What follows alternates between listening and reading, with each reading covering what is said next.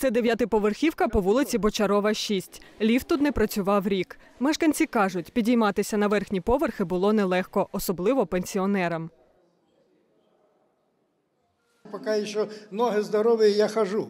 А для тех, которые на девятом, на восьмом, на шестом, седьмом, для этих значения имеет, конечно. Но люди же, вы видите, старые, и надо ходить, и что-то грузовое такое. Две сумки взял, уже тяжело подняться на девятый этаж.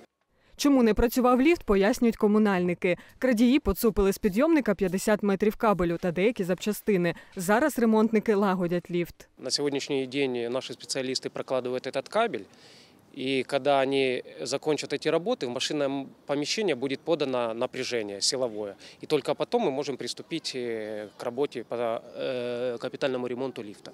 А це вже будинок по вулиці Кузнєцова, 40. Його мешканці теж постраждали від рук крадіїв. Тут поцупили лічильники тепла. Комунальники встановили тут же новий прилад обліку. Зараз ховають його за антивандальними дверима. Это программа антивандальная, которая тоже текущими ремонтами коммунального предприятия «Наше место» выполняется. И что позволяет это сделать?